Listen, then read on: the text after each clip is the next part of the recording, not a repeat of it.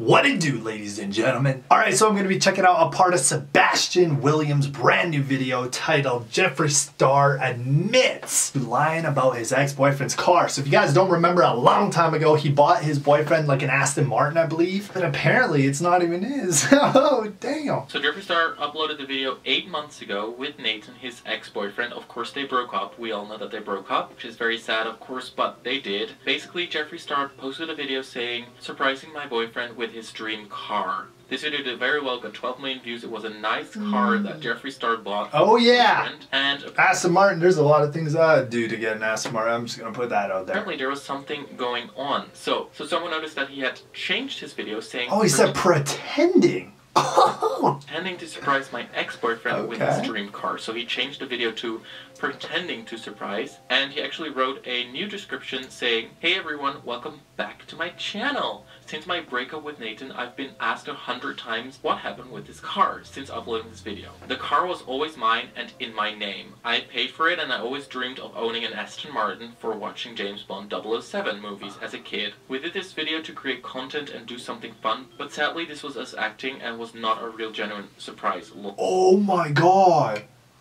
Yo, so that car wasn't even his. It was in Jeffree's name the whole time. It was, it was basically like a gift. It was kind of like, here, here's your car, but like just know it's it's my car. Well, guys, there you go. Um, apparently, it wasn't a real surprise. It was just Jeffree's car that Nathan was allowed to drive, and like, like I said, it was technically Nathan's car, but like, it wasn't Nathan's car. I mean, I don't blame Jeffree, bro. You imagine dating somebody, you buy them over a hundred thousand dollar car, and then you break up. like, yeah, I'm letting you know I'm taking the car. You know what I mean? We ain't gotta go to court. It's shit's in my name. Wise move on Jeffree. but uh, yeah, tell me what you guys think about it. I, I like how they broke up on a good term. You know what I mean? Like you don't see Nathan going online saying anything bad about Jeffree. You don't see Jeffree saying anything bad about Nathan.